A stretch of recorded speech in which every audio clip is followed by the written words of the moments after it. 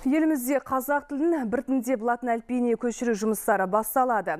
Маңызы зор міндетті орындау мақсатында бұған дейін де талай байыпты байламдар жасалды. Дәйекті талдаулар жүргізілді. Мемлекет басшысы өзінің болашаққа бағдар рухани жаңғыру атты мақаласында мектеп қабырғасында Балаларымыз ағылшын тілін оқып, латын әріптерін онсыз да үйреніп жатыр. Сондықтан жас буын үшін ешқандай қиындық кедергілер болмақ емес деп атап көрсетті.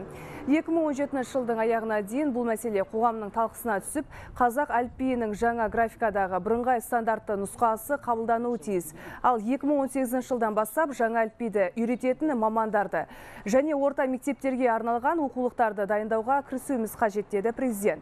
Тарихы тереңнен тамыр тартатын әліпбиді күнделікті тұрмыста қолданғаннан ұтатын тұстарымыз аз болмайды. Көптен көкейімізде жүрген өзекті мәселенің нақты өмірде жүзеге аса бастайтыны.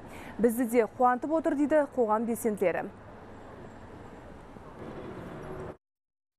ең бастысы елбасының өзі айтқандай біздің ұлттық тіліміз абайдың тілі жамбылдың тілі құрманғазының шығармашылығы бізбен бірге үнемі қалу керек яғни ұлттың бренді ұлттың коды деген осы 2025 жылға қарай қазақ тілін латын жазуына көшіру туралы идея туралы елбасы осы мақаласында нақты айтқан екен.